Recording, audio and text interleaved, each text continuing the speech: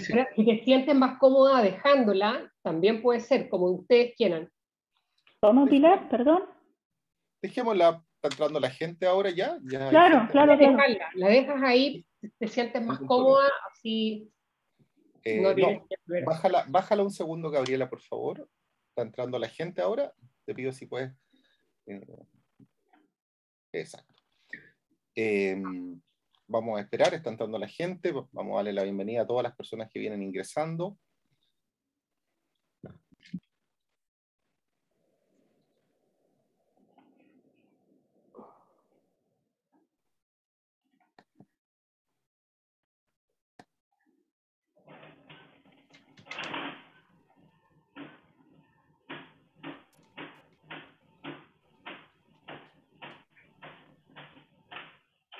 Muy bien, buenas tardes, buenas tardes a todos. Eh, muy bienvenidos a este programa de ciclo de actualidad económica en las elecciones presidenciales 2021.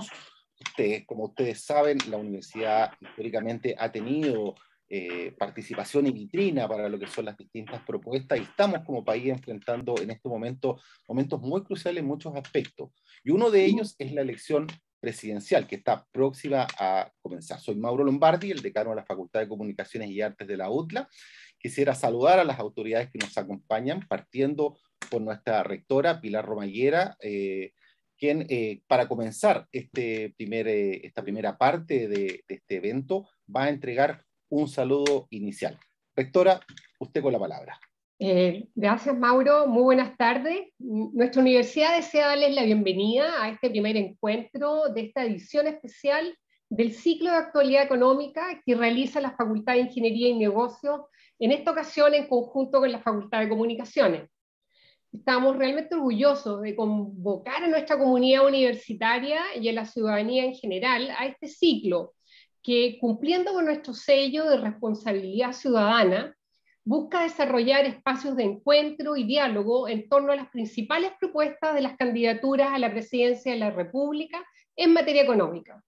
Así, a partir de hoy y durante los miércoles siguientes, tendremos la oportunidad de conocer y también de preguntar directamente sobre las propuestas programáticas a asesores de los candidatos en esta materia. Por cierto, la economía es siempre un área fundamental en todo programa de gobierno. Y por tanto, eh, las políticas que se proponen a nivel microeconómico y macroeconómico, la forma en que se financiarán los programas sectoriales comprometidos en las campañas son de interés público. Por esta razón, términos o expresiones propias de la disciplina económica, como los factores determinantes del crecimiento, la estructura y la carga tributaria, la deuda pública, el equilibrio fiscal, el desempleo y por supuesto la inflación, eh, se hacen más frecuentes en los medios y redes sociales, generando interés de la opinión pública.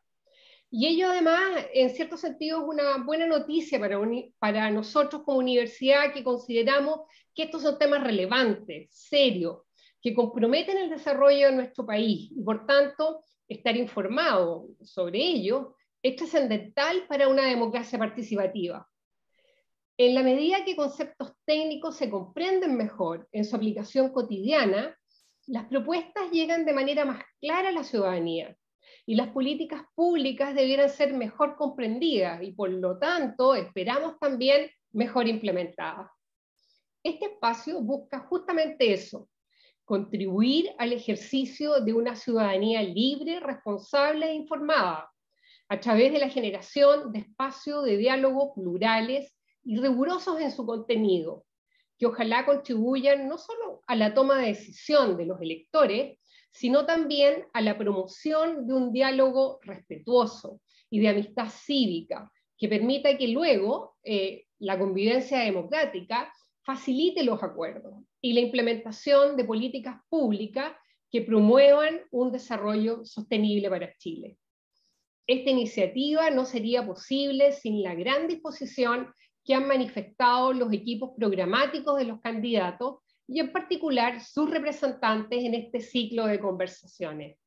En esta oportunidad agradecemos a la economista Gabriela Clivio, asesora del candidato presidencial Sebastián Sichel, por acompañarnos en este primer encuentro y por presentarnos las propuestas principales de, de su programa, las propuestas económicas principales de su programa. También agradecemos a los decanos de la Facultad de Ingeniería y Negocio, Gonzalo Isla, y de la Facultad de Comunicación y de Arte, Mauro Lombardi, por haber impulsado y participado directamente en esta iniciativa. Ellos serán los entrevistadores de este ciclo. Y finalmente agradecemos a todos quienes están conectados hoy y les invitamos a participar también en nuestros próximos encuentros. Esperamos que nos acompañen. Muchas gracias. Muchas gracias, rectora. Gracias por ese saludo y destacar, destacar justamente el hecho sobre estos, eh, estas conversaciones que permiten tener una ciudadanía más informada en, en, eventos tan relevantes como son los aspectos económicos de los programas de gobierno, en el día de hoy en particular con el del candidato Sebastián Sichel. Quisiera aprovechar de presentar también a, ya lo mencionó nuestra rectora, Gonzalo Islas, decano de la Facultad de Ingeniería y Negocios de la UDLA, quien nos va a presentar a nuestra invitada en el día de hoy. Gonzalo. Eh, muchas gracias, Mauro. Muchas gracias, doctora. Eh, muchas gracias, Gabriela, por aceptar nuestra invitación. Eh, bienvenidos todas y todos a este inicio de este ciclo, en el cual durante todo el mes de octubre tendremos a distintos invitados representantes de las principales candidaturas presidenciales. Y es hoy día para mí un honor y un agrado presentar a Gabriela, ¿cierto? Gabriela Clive, integrante del equipo económico de Sargento Sichel. Ella es magistra en finanzas en el S Business School, es economista, es también, ¿cierto?, eh, CFA, eh, una certificación muy importante en el área de finanzas que pocas personas en Chile eh, tienen. es profesora universitaria, ¿cierto?, y ha trabajado en temas financieros, con números de bolsa, tiene una extensa experiencia y desde hace algunos meses participa activamente en la candidatura de Sebastián Sichel. Así que, Gabriela, bienvenida a la Universidad de las Américas y queda la pantalla a tu disposición para tu presentación. Muchísimas gracias. Eh, yo voy a compartir mi pantalla, eh, pero antes quiero partir agradeciéndoles y, diciéndoles, bueno, en primer lugar le quiero agradecer a, a Pilar, para mí es un honor estar acá. Eh, además, digo, en, en, en, mi calidad de docente, para mí es verdaderamente la labor que cumple la, universidad en temas de no solamente formativos, sino además informativos, es algo que verdaderamente moldea generaciones, digamos, y por eso para mí es tan importante y estoy tan agradecida de que me hayan invitado a este foro. Me siento muy honrada, además. Y bueno, quiero agradecerte a ti, Gonzalo, como decano de la escuela, y a Mauro también, que es un lujo que, que me vayan a entrevistar. ¡Piedad! Eh, pero, pero bueno, espero que hice una pequeña presentación, más que nada para contarles un poco, para articular el relato, pero, pero básicamente el, grueso va a ser la, las preguntas que ustedes me, van a hacer. Entonces ahora espero que me escuchen bien. Me puse los audífonos porque mis alumnos siempre se quejan de que no me escuchan bien cuando no me pongo audífonos, así que me puse unos audífonos para que me escuchen bien. Y bueno, básicamente eh, lo que quiero contarles es un poco el, el la historia en la cual nos encontramos, ¿no verdad? Más allá de las propuestas que tenemos nosotros, que las quiero como resumir, digamos, en tener más mercado y, mejor estado, quiero contar qué nos ha sucedido un poco en, en, estas últimas décadas y cuál es el problema al cual nos enfrentamos, cuál fue el diagnóstico que nosotros hicimos y a, a raíz de este diagnóstico es que nosotros elaboramos las propuestas económicas del programa de gobierno de Sebastián Sichel. Nosotros podemos decir que en Chile nos encontramos en la primera economía eh, de Sudamérica que fue admitida al selecto grupo de la OCDE. Es una economía que siempre ha sido reconocida como muy amistosa para la inversión extranjera. Parte de esta inversión extranjera es lo que ha permitido el desarrollo de la gran minería y este es un país donde el 10% del PIB es consecuencia directa de la minería y un 20% de los encadenamientos productivos asociados a la minería.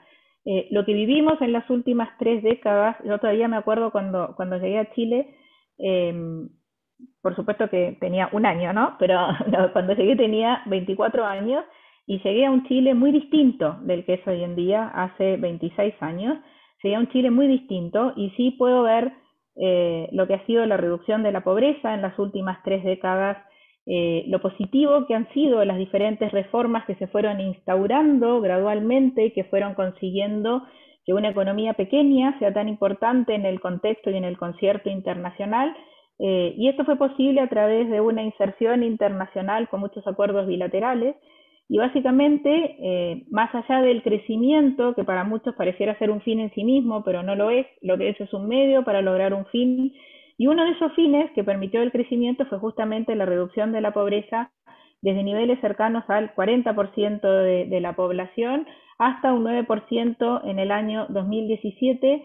Es cierto que hoy en día, a raíz de la crisis del, COVID, de la pandemia, eh, la pobreza ha vuelto a instalarse sobre los dos, sobre los dos dígitos, que es sin duda lo más dramático eh, que ha sucedido. No, no solamente no, me gusta mirar las cifras solo en términos de país, me gusta mirar las cifras en términos de personas y en términos de familia. ¿ya? Y ese ha sido el, el, verdadero impacto. ¿ya? Eh, más allá de la reducción de la pobreza, que permitió el crecimiento económico de las últimas tres décadas, el país fue testigo de un aumento súper importante de, de, la clase media, que logró, alcanzó al 65% de los chilenos frente al 24% del año 1990, pero a pesar de eso, en este país, en, en Chile, subsisten importantes niveles de desigualdad. Entonces, nosotros las propuestas económicas que elaboramos básicamente están enfocadas, uno cuando tiene una propuesta es como un médico, cuando uno le da un medicamento o un tratamiento, lo que busca es eh, aliviar eh, o sanar o aliviar los síntomas de una enfermedad, pero básicamente lo que uno, salvo que es una enfermedad crónica, uno busca la cura de esta enfermedad y lo que nosotros detectamos como principal problema es la desigualdad y todo el, el programa económico está articulado en función de cómo disminuir la desigualdad. Y por eso es, en este contexto de disminución de la desigualdad, es que proponemos ciertos cambios eh, a nivel tributario, es que proponemos ciertas mejoras a nivel de cómo recuperar, cómo mejorar la productividad, tema en el cual estamos estancados, eh, cómo poner, por ejemplo, impuestos verdes para enfrentar el tema de la sostenibilidad y del cambio climático. Eh, entonces, ninguna de las reformas económicas eh, es un fin en sí mismo, sino un medio para lograr este, este fin. ¿ya? Eh, bueno, como les contaba, venimos de una historia de un sólido crecimiento económico que a pesar de eso, entre los años 2014 y 2017 se desaceleró. Eh, la economía entre estos cuatro años, 2017, 2014 y 2017, creció apenas un 1,7%. Este, este frenazo, digamos, este menor crecimiento, esta, que no es una contracción, digamos, porque igual seguimos creciendo pero a un ritmo muy bajito, este crecimiento de 1,7% como país no nos sirve para alcanzar el estatus de economía desarrollada, para que lo tengamos presente hoy en día algunas cifras que uno tiene que, que relacionar, digamos. Nosotros tenemos un PIB per cápita de 23 mil dólares anuales. El promedio de la OCDE, este grupo selecto de países del cual formamos parte, tiene un PIB per cápita de 46 mil dólares anuales. O sea, nosotros estamos dentro del grupo de la OCDE, que es un grupo que presenta bastantes disparidades, pero nos queda mucho por, por, mejorar, digamos, si queremos tener no solamente un producto per cápita similar al de la OCDE, un estándar de vida para la mayor parte de la población similar a lo que se vive en los países de la OCDE. ¿ya? Eh, otro tema que también es importante y que vale la pena mencionar es que igual se fue instaurando en los últimos años una concepción, desde mi punto de vista errada, de que eh, en el fondo las reformas graduales y consensuadas que se hicieron fueron un fracaso, lo cual queda claro que no fueron un fracaso porque permitieron no solamente el surgimiento de una clase media súper importante, sino además la reducción eh, muy notoria de niveles de pobreza. Y con esto, con el tema de la reducción de los niveles de pobreza, viene eh, además otra serie de indicadores que no estoy mencionando ahora, digo, desde el aumento de la esperanza de vida al nacer, eh, la reducción de la mortalidad infantil, digamos, la mejora en las condiciones sanitarias, digo, hay muchos indicadores con los cuales nosotros podemos medir eh, el avance que hemos tenido, ¿ya? Eh, desde mi punto de vista, cuando nosotros hablamos de desigualdad, un indicador que por lo general se mira es el índice de Gini, donde en el fondo nosotros vemos que igual termina, sigue habiendo una concentración importante a nivel de este indicador y que de alguna forma nos muestra eh, cuál es el problema que tenemos que solucionar, ¿ya? O cuál sería, en orden de prioridades, uno de los problemas que nos tenemos que abocar, digamos. También podríamos decir que un problema que no, un, un, un, punto de referencia que no podemos perder es el tema de la sostenibilidad fiscal, otro tema que no podemos perder es que es necesario retomar la senda de crecimiento económico, tenemos que volver a, mejorar temas de productividad, donde estamos al debe, pero, pero hay un tema, digamos, que subsiste y que no hemos logrado, que no hemos logrado mejorar, que tiene que ver eh, con, con, la, con la desigualdad y también tenemos temas no menores en cuanto a género, eh, que tienen que ver no solamente con brechas salariales, sino con diferencias en tasas de ocupación. Por ejemplo, acá yo les mostraba que hice una comparación 2013, 2015, 2017 de cómo ha ido evolucionando la, tasa de ocupación masculina y femenina, cómo sigue habiendo brechas, no solamente a nivel de ocupación, sino además también a nivel de, ingreso. ¿ya? Bueno, como todos saben, en el 2019 eh, fue un año complicado en el último trimestre del año, a lo cual se sumó eh, la crisis del coronavirus Chile, básicamente, gracias a, la prudencia económica o a la austeridad fiscal que tuvo durante varios años, fue capaz de poner en práctica una política fiscal extremadamente expansiva, con crecimientos de gastos públicos muy importantes. Y a su vez el Banco Central también hizo su trabajo por el lado de, la política monetaria. Pero bueno, ahora nos encontramos con los desafíos de qué va a pasar hacia adelante. O sea, ¿qué, programa económico vamos a poner en marcha para hacer frente a, solucionar los problemas que queremos solucionar, haciéndonos cargo también de que las finanzas públicas tienen que mantener su sostenibilidad, que los porcentajes de deuda sobre PIB tienen que mantenerse dentro de determinados márgenes y que además queremos reducir la desigualdad. ¿ya? Entonces nosotros, cuando pensamos en cuál va a ser la prioridad, la prioridad es eh, retomar el camino o tomar el camino de un desarrollo inclusivo eh, y básicamente tener un plan social eh, cuyo principal eje son las transferencias directas. ¿Y por qué nos enfocamos en las transferencias directas? Porque la evidencia empírica o la experiencia internacional nos ha mostrado que, y bueno, y la propia experiencia nuestra también nos lo ha mostrado, eh, el crecimiento no es suficiente para disminuir la desigualdad. Entonces, como sabemos que el crecimiento no es suficiente, ayuda, va en esa dirección, pero no es suficiente, la herramienta pública que ha demostrado ser eh, la mejor, digamos, para la reducción de la desigualdad son las transferencias directas. Entonces nosotros, eh, considerando además que es súper importante lograr una cohesión social, que hoy en día no tenemos, es que hablamos de que si bien tenemos desafíos de mediano y largo plazo, como son, por ejemplo, las mejoras en la educación, el tema del apoyo al emprendimiento o el generar empleos dignos, estas son reformas que pueden llevar muchos años. Por ejemplo, la reforma de la educación, empezamos una reforma de la educación hoy, yo sé que este no es un tema 100% económico, digamos, pero empezamos una reforma de la educación hoy y van a pasar muchos años para que nosotros veamos finalmente el efecto.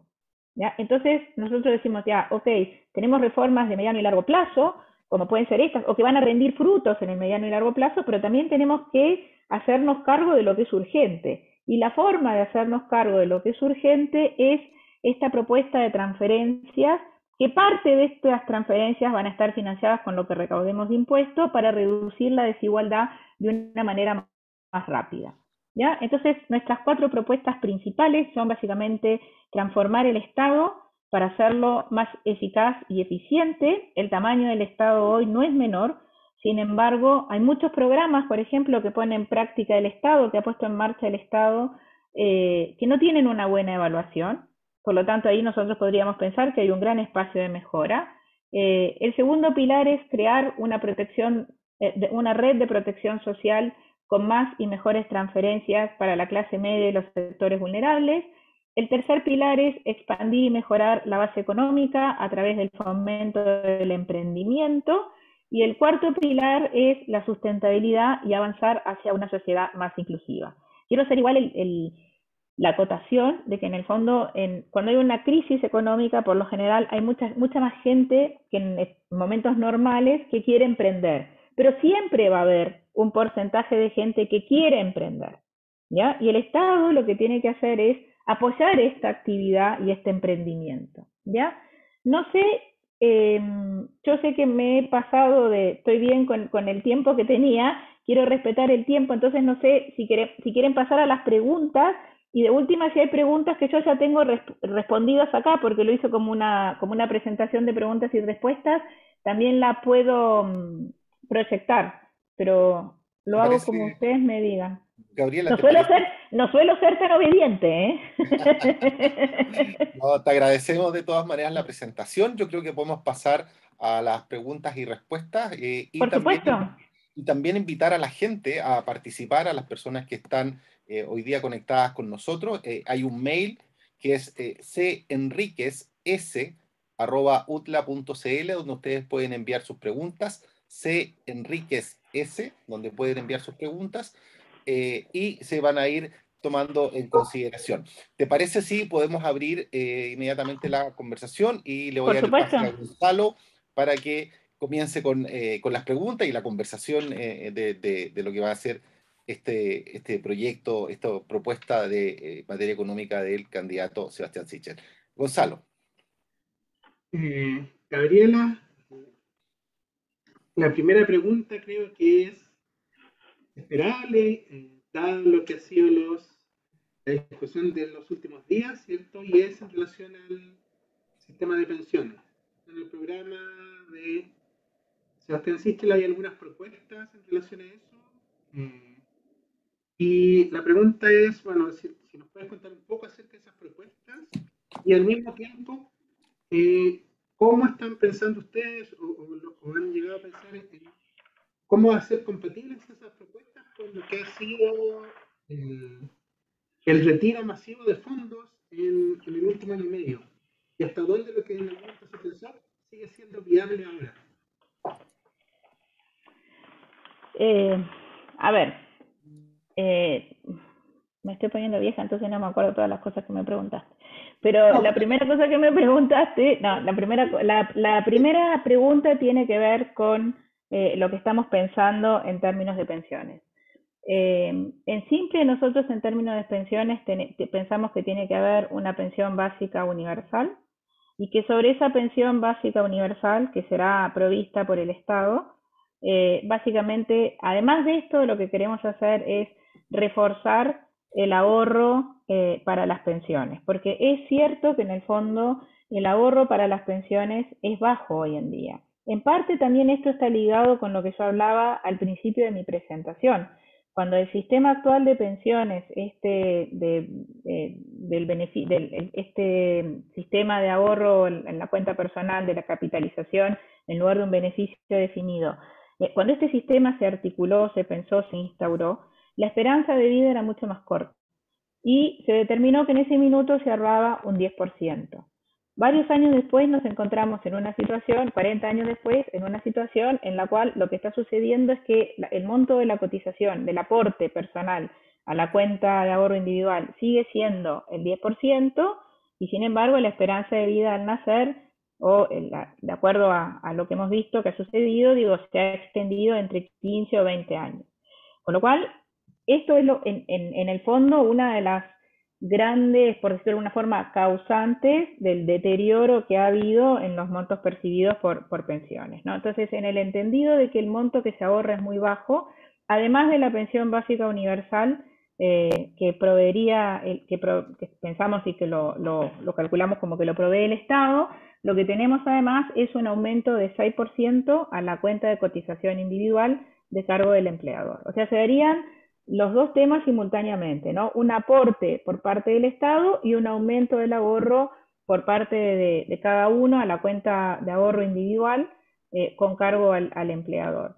Ahora, igual, digamos, tenemos propuestas adicionales que en el fondo tienen que ver con seguros para que sea equitativo, digamos, y, para, por, temas de longevidad, eh, pero la propuesta fundamental es esta, asegurar el, derecho a la propiedad sobre los montos ahorrados en las cuentas individuales, fortalecer el ahorro a la cuenta individual, pero sí contar con un componente de solidaridad eh, por parte del Estado.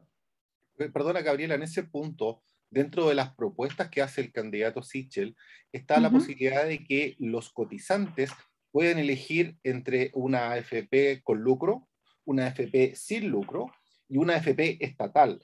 E, ese es, una, es, una, es un tema interesante, digamos. Eh, lo primero, valga la obviedad, digamos, eh, se, se, propone crear una, una AFP estatal, entonces.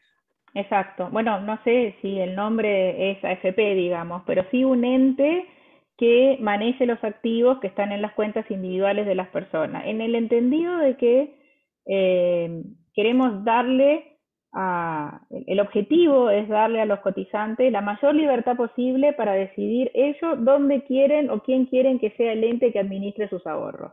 Entonces sí, ese es un, tema que, que, no tiene que ver con la forma en cómo está constituido el ahorro para la pensión futura, eh, sino que tiene que ver con quién va a ser el ente que va a cautelar estos ahorros que están en las cuentas individuales. Y sin duda que eso es un gran cambio, porque como tú me decías, Mauro, en el fondo ahora vamos a tener, digo, entes eh, privados, entes eh, estatales, y también vamos a tener quizás, no sé, operadores nuevos que deciden entrar al mercado para administrar las cuentas, ¿no? Nosotros también pensamos, ponte tú, que tiene que cambiar el esquema de las comisiones, digamos, eh, que son ya más como, como temas, digamos, de, de, ajuste a una gran propuesta que tiene como, como eje central el aporte del Estado a una pensión básica universal y el fortalecer el ahorro individual.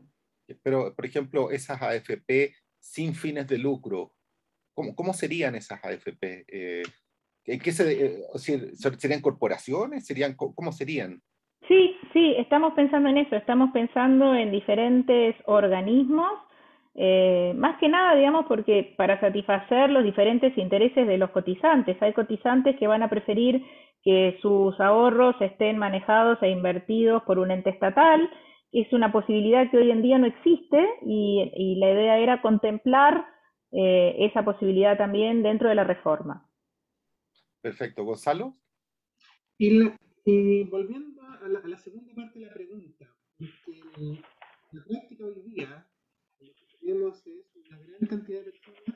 Te escuchamos un poquito mal, Gonzalo. No sí, yo también escucho como que viene y va, viene y va. ¿Ya? ¿Ya? me voy a acercar más a ver si se escucha mejor. La, hoy día hay una cantidad importante de personas cuyos saldos se han reducido mucho como efecto de los retiros y probablemente se van a seguir reduciendo si es que se aprueba un cuarto retiro.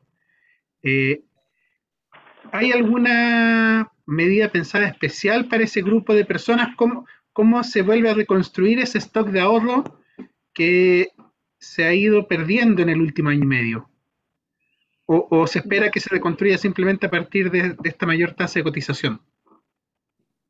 Bueno, no, yo creo que en el fondo son dos cosas distintas, Gonzalo, porque la tasa de cotización adicional va a ir, o sea, va a ir a las cuentas de cada uno, digamos. Tenemos que pensar en que en realidad eh, hoy en día hay cerca de 5 millones de personas que no tienen ahorros para la pensión, ¿ya?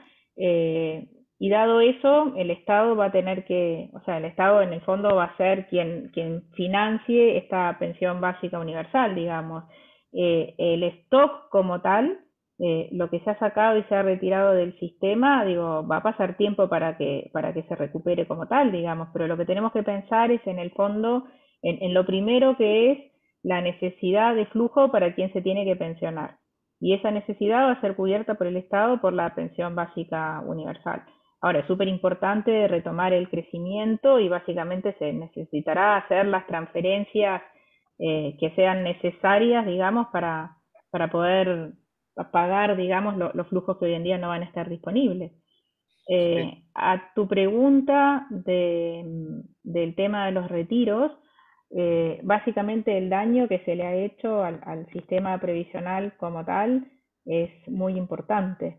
Entonces, verdaderamente lo que pasa es que en el fondo una cosa es cuando nosotros hablamos de lo que es bueno desde el punto de vista económico eh, y, en el fondo eh, se da la, la contradicción de que hubo, de alguna forma estamos preocupados porque mejoren las pensiones y los retiros lo que han hecho es ir en la dirección contraria. Entonces estamos viviendo esa contradicción donde nos damos cuenta que existe un problema y el problema es que se necesita mejorar las pensiones y los retiros han ido en la dirección contraria. Eh, Gabriela, em, hoy día el, sueldo mínimo está en 337 mil y tantos pesos y fracción, ¿no? Eh, según el candidato, ¿cuánto debería ser el sueldo mínimo en Chile?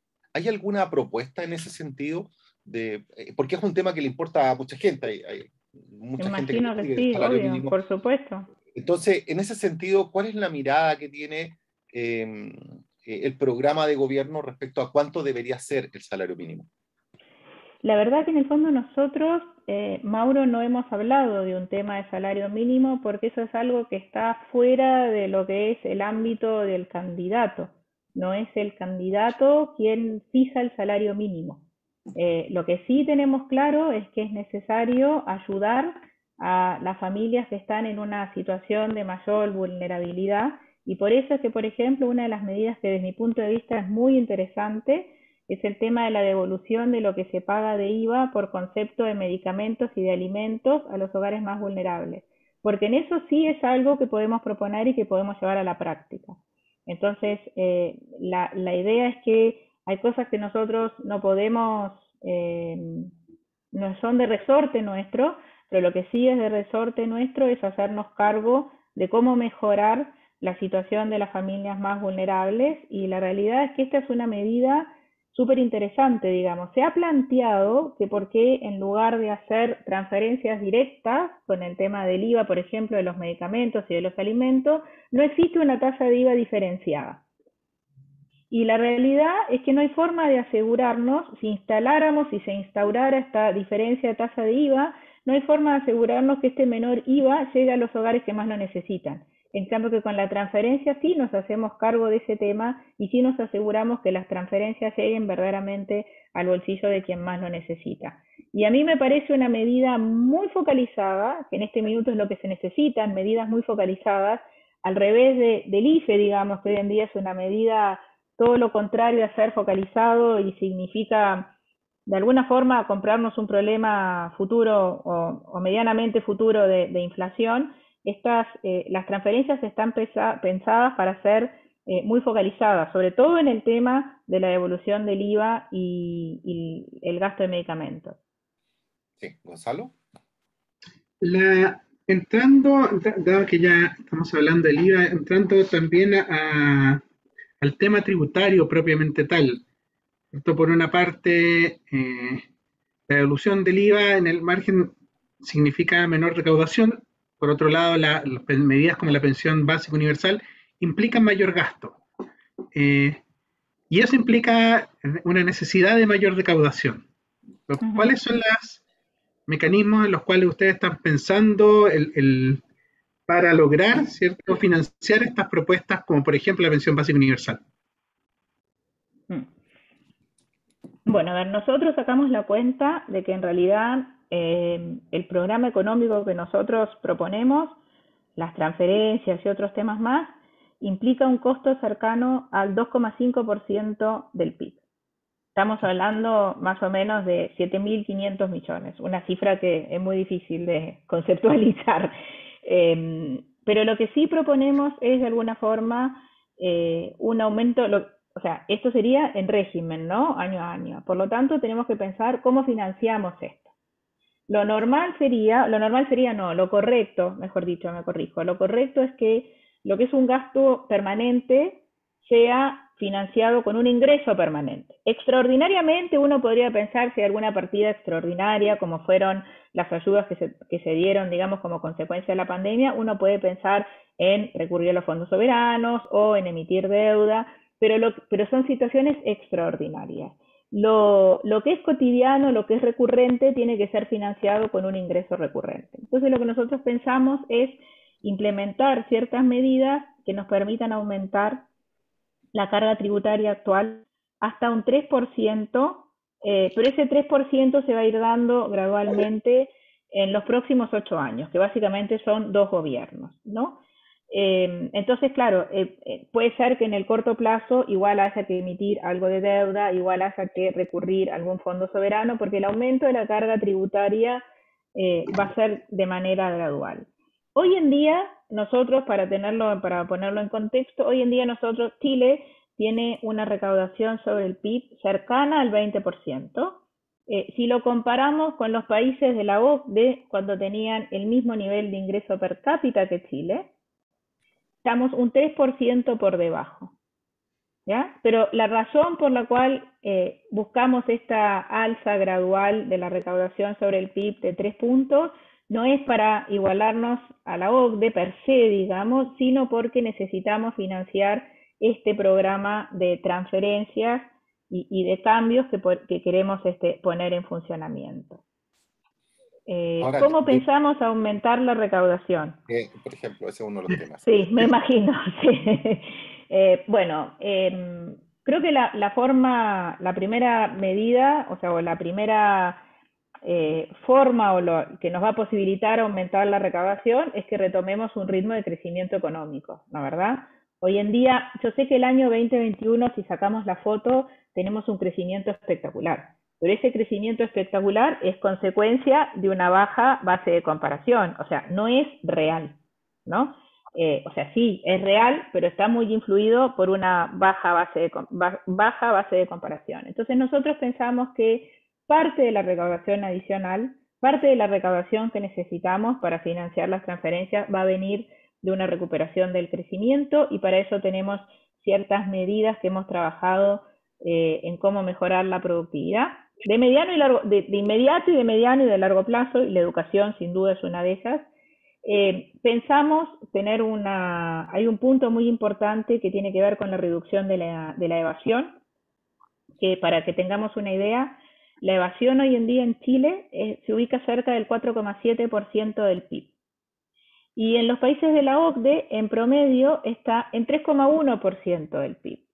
Con lo cual, si nosotros hacemos el tremendo esfuerzo y logramos igualarnos a la OCDE, tenemos un 1,6% del PIB recurrente de ingreso, porque en el fondo controlamos evasión, siendo que además la evasión es tremendamente regresiva, digamos, porque quienes evaden, por lo general, está asociado a, a ingresos más altos, ¿no? Entonces, primero tenemos el crecimiento, segundo tenemos el control de la evasión, que no es menor. En tercer lugar, tenemos la eliminación de ciertas exenciones que hoy en día ya no se justifican, ¿ya? Y eso también es importante. Tenemos y consideramos eh, incluir ciertos impuestos que son nuevos, pero que no están incluidos por el hecho de aumentar la recaudación, sino para desincentivar ciertas conductas, como es, por ejemplo, los impuestos a las sustancias contaminantes, al CO2, el tema de lo que pasa entre el impuesto específico al diésel y el impuesto específico a la gasolina, porque lo que queremos ahí no es que buscamos recaudar más, sino desincentivar ciertas conductas. Y por último... a los alimentos dañinos también estaba... También, también, también, también. como las golosinas o los alimentos de casa, ¿no? Sí, para mí es terrible, porque a mí me gustan todas esas cosas que tienen como tres o cuatro sellos negros, que son alto en caloría, alto en grasa, alto en azúcar, pero... claro, todos los sellos, pero, pero sí, pero, pero sí, digamos, pero justamente porque igual el, haciéndonos cargo del problema de obesidad que tiene el país, ¿no? Sobre todo en lo que tiene que ver con obesidad infantil. Y, y por último, que no alcance a decirlo, también proponemos una modificación eh, del impuesto al, que se llama específico a la minería, digamos, para movernos hacia un impuesto al royalty, eh, que no se trate para nada de un impuesto al valoren, pero sí un impuesto eh, que se cobre o que se recaude sobre el margen operacional minero. ¿Qué pasa? Hay, hay, un tema, em, el próximo gobierno va a tener una misión difícil, porque particularmente en el, manejo económico, el superávit estructural de Chile siempre fue históricamente un 1%. Pero con todas las medidas pandémicas y todo lo que ha habido, sin, sin lugar a dudas eso se va a incrementar de manera importante.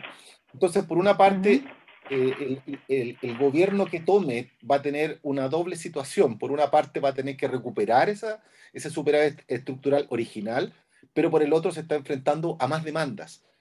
¿Cómo, ¿Cómo tienen pensado manejar el superávit estructural y cómo pretenden hacerle frente desde el punto de vista político, no solamente desde el punto de vista económico, sino desde el punto de vista político, a las mayores demandas de la ciudadanía? Bueno, en parte eh, lo de las mayores demandas está contemplado porque si tú te fijas, nosotros estamos pensando que el programa va a costar en régimen 2,5% del PIB y si nosotros les ponemos 2,5% del PIB son 7.500 millones, Y si nosotros eh, sacamos la cuenta, bueno, no, si sacamos la cuenta no, cuando hicimos la cuenta transferencia por transferencia, por ejemplo, sumaban 5.500 millones. Con lo cual ahí nosotros sabemos que hay un margen que podemos utilizar o que buscamos utilizar básicamente para hacer frente a estas mayores demandas. De todas formas, yo quiero decir y me gustaría, eh, si puedo, como pasar un mensaje, y que en el fondo tenemos que em, pensar que estar a cargo de un país, estar a cargo de un país no, no es solamente las decisiones de corto plazo, o sea, tiene que haber un balance entre lo que es la generación presente y la generación futura. Entonces, en ese sentido es súper importante prestar atención a lo que es la dinámica de la sostenibilidad de la deuda. Hoy en día, Chile tiene una deuda sobre el PIB algo superior al 30%, y en el fondo, esto es algo, la deuda no puede seguir creciendo, y el endeudamiento no puede seguir creciendo al ritmo que ha crecido en el último tiempo. Es cierto que ha crecido para hacer frente a una pandemia, pero nosotros tenemos que volver a la responsabilidad fiscal que tuvimos durante mucho tiempo. Porque en el fondo el abandonar esa responsabilidad fiscal implica en que el día de mañana las tasas de interés van a subir, entonces implica que va a haber una mayor inflación, y todos nos vamos a ver... Ya están subiendo Correcto. Y todos nos vamos a ver afectados. Y creo que en las hay muchas cosas en las cuales puede haber matices, pero hay algo en lo cual estamos todos de acuerdo y es que la inflación puede ser perfectamente vista como un impuesto tremendamente regresivo. ¿ya? Porque en el fondo, a quien más puede ahorrar, quizás le afecta menos la inflación, pero al que tiene que, no, no tiene otra alternativa más que gastar todo su ingreso porque lo necesita, es donde más ve disminuido su consecuencia de la inflación. Entonces, es súper importante volver a la senda o retomar la senda de, la, de la sostenibilidad fiscal. Sí, antes de continuar con la pregunta de Gonzalo, seguimos invitando a la gente a que hagan sus preguntas. Aquí en el chat ustedes pueden eh, revisar, el, el, mail es cenriquez.udla.cl. Eh, y Gonzalo, tú con la palabra para continuar con el diálogo. Quería volver la, en relación a los impuestos eh, el proyecto que envió el gobierno hace poco, bueno, y que está en discusión, entiendo hoy día en, la Cámara eh, de las mejoras del pilar solidario, propuso eliminar algunas exenciones. Eh, el IVA a los servicios, por ejemplo, el, 5% al impuesto a la ganancia de capital. ¿Cuáles son las otras exenciones que están mirando ustedes? ¿Cuáles, ¿A dónde le quieren poner el diente en esa eliminación de exenciones que nos mencionaste hace poco? A ver, el tema del IVA a los servicios, eh, solamente para, complementar lo que, lo que me estabas preguntando, Gonzalo, es un tema que por lo general en todos los países existe el IVA a los servicios, ¿no? Eh, y de alguna forma trata de corregir una distorsión que existe hoy en día. Eso es lo primero. Em, lo segundo, eh, nosotros estamos pensando, por ejemplo, en la distorsión que existe entre el impuesto específico a, las gasolinas y el impuesto específico al diésel. Hoy en día existe una diferencia entre el diésel que tributa 1,5 UTM por metro cúbico y la gasolina que tributa 6 y hay que pensar en, achicar esa brecha, en achicar esa diferencia, en parte además, digamos, por la contaminación que genera, Em, el tema de las ganancias de capital es algo que, ya lo has mencionado. El tema de la renta presunta es otra, es otro de las extensiones, digamos, en las, en las que hemos pensado, digamos, que, se puede, que se puede, que hay que avanzar. Eh, yo creo que por esa línea van las, extensiones de las cuales estamos hablando, ¿no? Y todo esto unido con quizás el tema que desde mi punto de vista es más importante, que es el control de la evasión. En, ese sentido, yo por más que revisaba no lograba encontrar la palabra reforma tributaria en el programa. No la encontré. Encontré aspectos, cositas así específicas, el IVA, exenciones, recaudación, pero el concepto de reforma tributaria propiamente tal, que es como un gran, un gran cambio, eh, yo no lo vi por lo menos y, revisé bastante, con bastante detalle. Y ahí quería preguntar si eh, porque los otros candidatos todos lo proponen, todos proponen reformas tributarias de distinto, de, con distinto grado, digamos. Entonces me gustaría saber si eso ¿tiene alguna razón o ustedes creen que con una mejor recaudación, una mayor eficiencia del Estado, con eso podrían tener equilibrada la economía en Chile? ¿Por qué, por qué no está esa, ese, concepto así puesto como lo, como lo, hemos visto en los otros candidatos? de hecho, por ahí, perdona, perdona Gabriela, por, ahí, vi una, una frase de, de Sichel que la saqué, de hecho, que, y dice, aumentar el tributo no implica necesariamente más justicia. Y pienso que puede haber quizás por ahí quizás una razón. Gabriela. Ya, ya, entonces voy por partes. Eh, la primera el programa que está subido, digamos, presentado y el programa eh, que se ha podido leer, solamente para hacer una precisión, es el programa que nosotros elaboramos para las primarias. Eh, este programa, además, ahora, digo, después de las primarias y después de que Sebastián ganó las primarias, nosotros también nos abocamos en diferentes comisiones a ya hacer más como medidas en lo concreto. Por ejemplo, te podría decir eh, ¿Qué sucede con el tema de la eficiencia energética a, nivel de las casas que en el fondo pueden eh, cambiar los vidrios y poner termopanel para ser más eficientes desde el punto de vista energético? Eh, medidas concretas en términos de, no sé, de educación o, por ejemplo, hacer la cuenta de qué proponíamos directamente en tema del royalty. Entonces, que son como con números, con, con, una investigación atrás, más allá de lo que fue el programa de, de primarias. Esa es la primera cosa.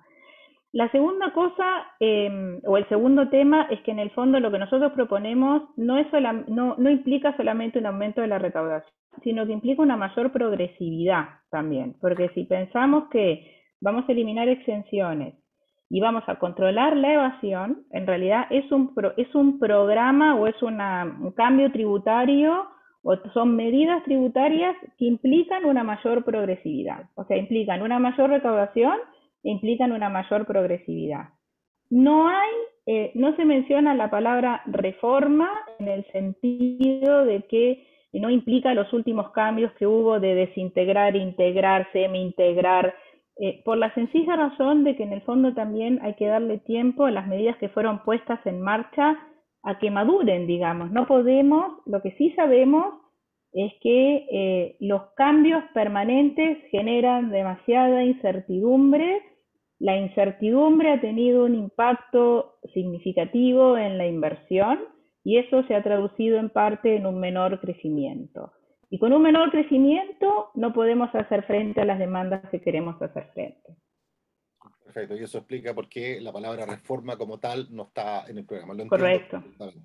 Eh, Gonzalo. Correcto. Hoy quería llevar a otro tema que va a ser del interés de, bastante nuestros estudiantes, el tema del emprendimiento. Eh, el emprendimiento como motor de la economía, dice la página web eh, del candidato, pero ¿Cómo es, cómo es el Logan? ¿Se traduce en, medidas concretas? ¿Nos puedes contar un poco y podemos conversar un poco de eso? Em, puedo contarte muchas cosas, pero hay cosas que todavía no puedo decir porque no salió el programa. Pero, pero, pero a ver, sí, en primer lugar, em, el emprendimiento o el fomento del emprendimiento puede estar desde una de las medidas que tenemos como contempladas, que es la digitalización de las pymes, por ejemplo, eh, una de las cosas que nosotros hemos visto este año en Chile y en el mundo es que la recuperación económica de esta pandemia ha tenido la forma de K. Y eso quiere decir que hay ciertas eh, compañías, em, eh, pymes, o sea, quienes han logrado de alguna forma adoptar ciertas tecnologías y adaptarse al teletrabajo, han tenido mejor recuperación que los sectores de la economía que eran más intensos en, contacto y que por lo tanto, por ejemplo, el sector servicios y que no, que no estaban digitalizados. Entonces, lo primero es pensar en planes de digitalización.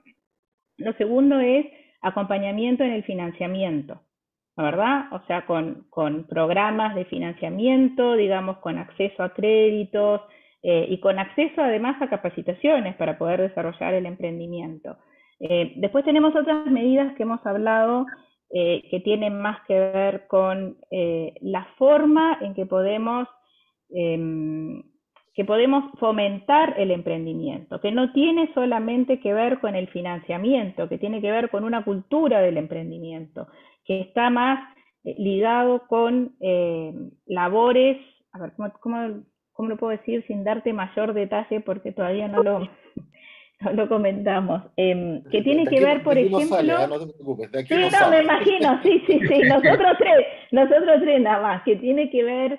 Eh, que tiene que ver más, por ejemplo, con el acceso a los mercados de financiamiento. No solamente con los préstamos por el lado del sector bancario o por el lado de ciertos organismos, sino con el acceso al financiamiento por parte de mercados. Y eso yo creo que es súper importante. Una de las preguntas que, recibimos, y justamente era uno de los temas a los que te queríamos llevar, eh, tiene que ver con el tema eh, del empleo femenino.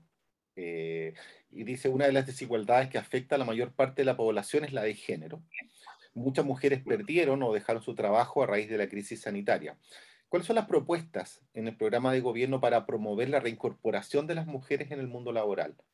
Eh, hay, hay, algunos acápites por ahí, al menos en el programa de primarias, pero probablemente tú nos puedas comentar un poquito más en detalle, porque el tema de género, el tema laboral y género, sé que hay algunas medidas que son mujeres y jóvenes, pero focalicémonos en mujeres. ¿Cuáles son eh, las medidas que se, que, se están eh, pensando para, para, este tema? Sí, em, el tema de género, o sea, eh, se sabe que la mujer ha retrocedido 10 años en el mercado laboral como consecuencia de la pandemia. Y además en las mujeres recae muchas veces el tema de los cuidados en la casa, entonces durante todo el tiempo en el cual los niños no fueron al colegio, eh, la mujer muchas veces tuvo que abandonar el trabajo para quedarse eh, como jefa de hogar en realidad en la casa cuidando a los niños, digamos, con lo cual el hecho de que no se reabrieran las escuelas era, hacía más complicada todavía la situación, ¿no? Em, yo creo que en el tema de género, eh, lo más importante, te, te, diría desde, desde mi apreciación, porque hay muchas medidas, pero por ejemplo hay programas educativos solo para mujeres que son, digamos, para mujeres que se han quedado fuera de la fuerza laboral por estas razones o por otras, y que ahora lo que sucede es que quieren volver a la fuerza laboral y la, no hay, un, no hay una, un punto de unión entre la oferta y la demanda. Tienen que reentrenarse de alguna forma para volver a la fuerza laboral. Hay programas eh, específicos diseñados para mujeres. Es cierto que en el fondo hay un concepto de que en este tiempo ha habido mucho emprendimiento femenino, eh, pero básicamente lo que buscamos es, y, muchas, mucho de lo que es el, trabajo salió de la formalidad durante la pandemia. Entonces tenemos que ver cómo volvemos al mercado formal, eh, no solamente a las mujeres, digamos, sino a hombres y mujeres, y, cómo de alguna forma eh, permitimos el reentrenamiento de estas mujeres, ¿ya? Porque lo que sí estamos viendo, que de alguna manera eh, es algo que, no digamos que ayuda, sino que hace que siga este círculo vicioso la, de la desigualdad, es que hay muchas demandas y muy buenos sueldos para las personas que están más capacitadas, pero que en los hogares más vulnerables, si hay menos capacitación, no hay una demanda por esa mano de obra. Entonces tenemos, tenemos manos de obras, por decirlo de alguna forma, por, por, referirme a, la, a, las tasas de ocupación, por referirme a las personas per se, eh, tenemos, digamos, enfrentamos demandas distintas. Hay sectores que tienen capacidad, que perciben buenos sueldos y que hay demanda, y hay sectores donde no hay demanda, pero tenemos que hacer que eso se junte. Y una de las una uno de los factores que hacen esto posible es la capacitación, son los planes educacionales. Perfecto. Eh, Gonzalo.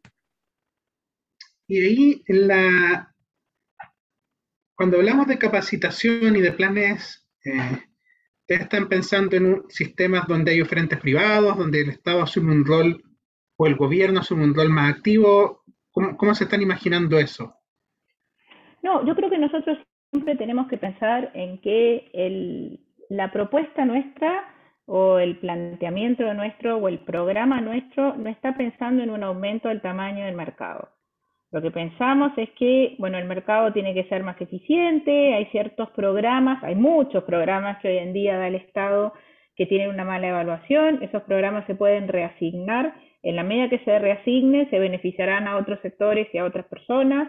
Eh, pero a tu pregunta pensamos en que sea algo mixto. En algunos programas eh, vendrá el financiamiento por parte de la reasignación de algunas propuestas y en otros programas jugarán algún rol eh, actores privados, digamos, pero no estamos pensando, de hecho, por ejemplo, si uno, si uno como que busca en, en el programa, eh, en todo momento lo que se menciona es que lo que queremos es eficientar el Estado. O sea, ponte tú que no, no, no, no, siga sucediendo que los pabellones operan hasta las 2 de la tarde, eh, eficientar el uso de los recursos que ya tiene el Estado. ¿Significa reducir el tamaño del Estado? Porque eficientarlo no, una no, cosa, no, no significa... otra. Reducirlo está incluido. No, no, no, no significa no, no, no, no, no, no hemos hablado de reducción, pero lo que sí hemos hablado, por ejemplo, es que el Estado, por ejemplo, en el tema del emprendimiento, el Estado acompaña al emprendedor. El emprendedor necesita financiamiento, el emprendedor necesita un acompañamiento, el Estado acompaña al emprendedor. No es el Estado quien emprende. O sea, no es un rol paternalista del Estado, pero sí lo que nos hemos dado cuenta es que muchas veces, por ejemplo, el Estado está en ciertas situaciones de vulnerabilidad. Cuando el grupo familiar, cuando las personas empiezan a estar mejor, el Estado acompañarlos. Y el Estado debiera acompañarlos a lo largo de toda su vida. No sé, si alguien se queda, si alguien se queda sin trabajo, tiene que, o sea, el, el mayor miedo de mucha gente cuando pierde su trabajo es que además del trabajo, después termina perdiendo la vivienda. ¿Y por qué? Porque cuando se pasa de la situación de vulnerabilidad a estar en la clase media, el Estado es como que ya no juega ningún rol. Y entonces muchas familias se sienten desamparadas. Entonces, la idea es que el Estado acompañe a lo largo del ciclo de la vida y sobre todo cuando hay momentos difíciles que están atravesando diferentes familias, pero no que haya un aumento del tamaño del Estado. Vamos a ir cerrando ya las últimas dos preguntas. Me gustaría hacer la penúltima, después le dejo a Gonzalo la última. Me gustaría saber en qué se diferencia la propuesta del programa económico del candidato Sichel de los otros candidatos, para que la gente pueda hacer el distingo. Em, yo voy a hablar de la propuesta de Sebastián, ¿ya? Y yo creo que esta propuesta es una propuesta que tiene un gran cambio asociado a la forma en cómo se habían hecho los programas económicos hasta ahora. Y el gran cambio es poner a las personas en el centro, eh, acompañar a las personas a lo largo de, su vida y básicamente eh, buscar la reducción de la desigualdad con una herramienta que ha probado ser la, más eficiente y que además nos permite hacer cambios en un corto periodo de tiempo. Porque quizás, como te decía anteriormente, eh, para mí el gran factor de movilidad social es la educación. Pero para que nosotros veamos los efectos de la educación, pasan muchos años. En cambio que esto en las transferencias directas lo vemos de manera rápida. Entonces yo creo que el programa de Sebastián eh, implica eso y tiene eh, asociado un gran cambio, que es el poner a las personas en el centro. Pero también es cierto que es un programa que se preocupa no solo por la generación actual, sino por las generaciones futuras. Y en ese sentido es que para nosotros es súper importante la responsabilidad fiscal, el retomar la senda de crecimiento, el respetar los contratos, el respetar la propiedad privada, el seguir atrayendo inversión para retomar la senda de crecimiento, el mejorar en temas en los cuales hemos estado al debe durante más de una década, como es la productividad, entonces, básicamente nosotros lo que proponemos es algo que es realista y realizable. Porque dado que tú me eh, preguntabas de otros programas, hay otros programas, por ejemplo, que suponen un aumento de la carga tributaria de entre un 8 y un 8,5% en 8 años. Nosotros proponemos un aumento de la carga tributaria de 3% en 8 años. Pero resulta que cuando nosotros nos ponemos a ver lo que ha sucedido en otros países, que entre el año 2000, entre el año 2000 y el año 2019 han aumentado un 8% de su carga tributaria en 8 años, que es lo que plantean otros programas, encontramos solamente dos experiencias. Y esas dos experiencias son Argentina y Turquía, que lograron aumentar su carga tributaria en 8% en 8 años. Y en los dos países se terminó en una crisis. Entonces, yo creo que lo que nosotros proponemos es un programa que implica un cambio no menor de poner a las personas en el centro, pero que está formulado de una manera responsable, porque nos tenemos que preocupar de que, eh, no solamente de que alguien pague la fiesta, digamos, sino que nos tenemos que preocupar no solamente del presente, sino de que de las generaciones futuras. ¿ya? Entonces yo te diría que eso es el, el gran hilo conductor del programa, el hacernos cargo de, de la situación actual, pero de una manera responsable. Gonzalo, para que cerrar, la última pregunta. La última pregunta eh, se relaciona un poco con, con, lo que preguntó recién Mauro, pero